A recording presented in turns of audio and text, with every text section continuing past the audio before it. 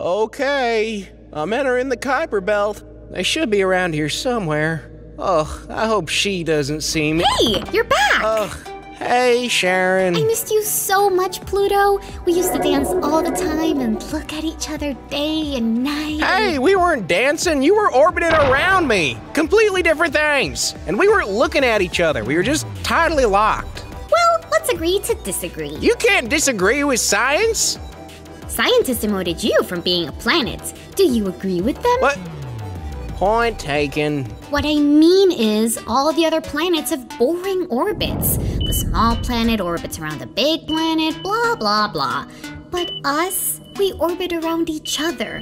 We're like double planets. No, no, no, no. We are not a double planet. You are my moon. The thing is that you're a, a, a big moon, so our center of mass isn't near my center, but instead it's a bit further away.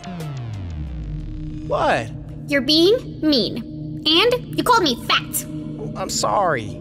To be fair, I called you big. That's a compliment in planet terms. All's forgiven. So, where are we going? Talk about a mood swing.